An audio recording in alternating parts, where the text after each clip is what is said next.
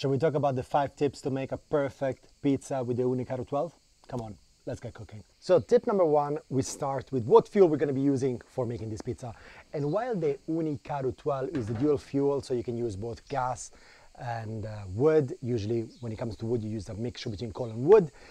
I really think for maximum consistency, and especially if you need to feed a bunch of people, today we are eight, you gotta go with gas. So propane tank, attached and ready. Turn it on. And before we switch it on, let's talk about the stone. I suggest never to clean the stone by yourself because technically the stone is self-cleaning. So take the bit which is the most dirty. In this case, it's pretty clean. But anyway, assume like this is the most dirty and you put this at the back.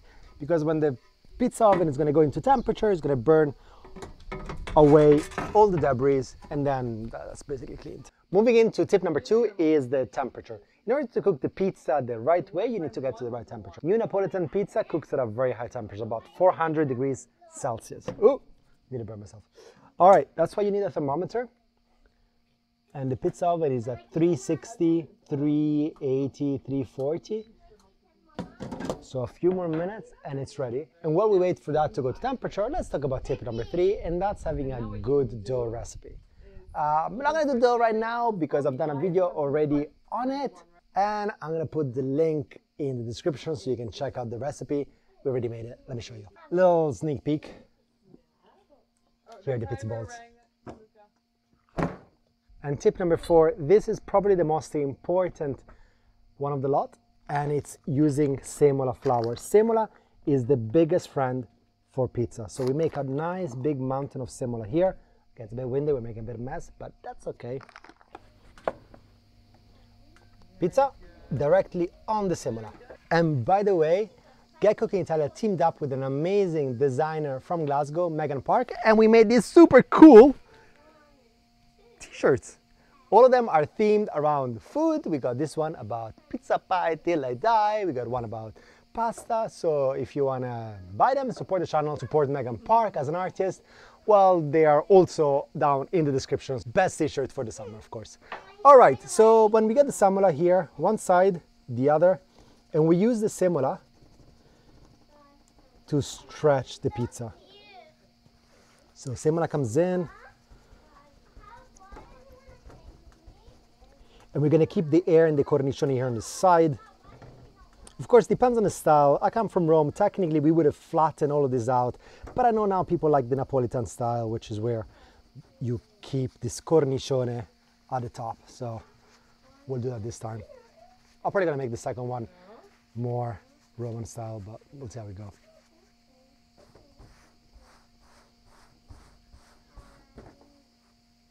Once you stretch it, this is important, you move away the semola. Because the semola burns when you cook it. So you want to get kind of get rid of it and you want the one that you've used to just get it absorbed by your pizza. And bonus tip, I don't know if it's a sad tip or not, but the first pizza is always a little bit sacrificed because I don't know, it just never works out. But I've got a solution for you and let me show it. Olive oil.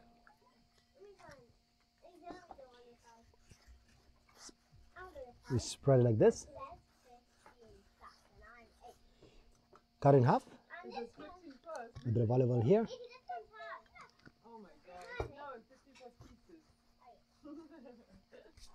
Let's check the temperature. Ooh.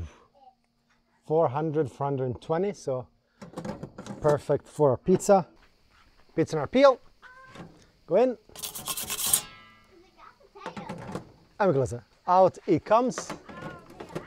And this is gonna be amazing filled. So check out inside. We're gonna put some smoked scamorza. Gonna close and just, this goes in just for one second. In it goes. And out it goes. We're gonna be adding rucola. And then we're gonna have a mix of lombetto. This is something that I'm sure you've not had before. And some prosciutto from Umbria.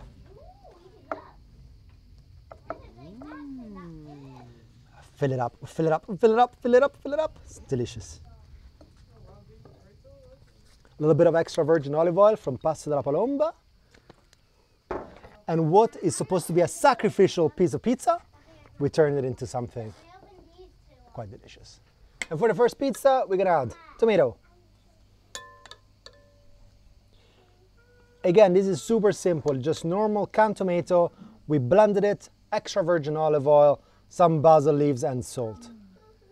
Parmigiano, guys, you gotta put Parmigiano on it. It's not only mozzarella.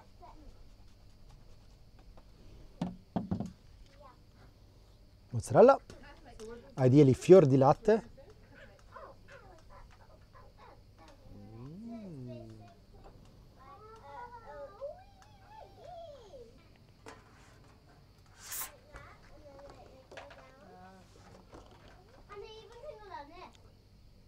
If you got bubbles, you gotta break them. Otherwise, these are gonna burn. Final stretch on the peel. And this goes in.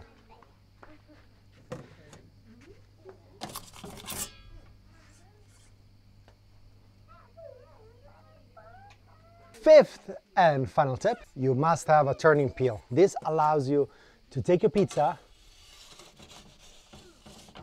and turn it without taking it out, maintaining the temperature in the pizza as it cooks. And at the beginning it's a little bit of a pain to use this, but once you get the hang of turning it, it's just gonna make your pizza that much better. And after about 90 seconds, our pizza is ready. Nice and cheesy. And this gets finished with some extra virgin olive oil on top. Few leaves of basil. Oh, it's so windy.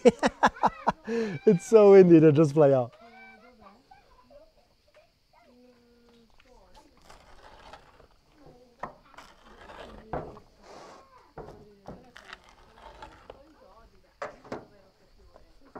Super hot still. I love the cheese pool.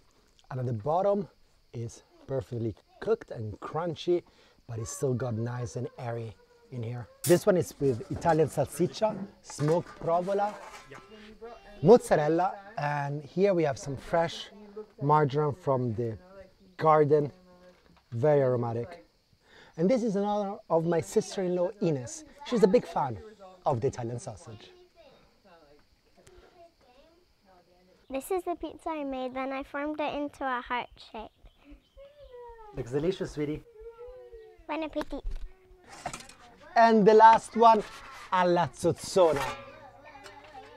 Which translates kind of like um, the piggy, the excessive, the, you know, over the top one. So we got sausages, smoked scamorza, mozzarella, and salame di Milano. Where is my pizza? Your pizza is here, dude. It's coming. So, buon appetito. And these are the five tips will yield you the best possible result in the Ooni Karu 12. It's really good.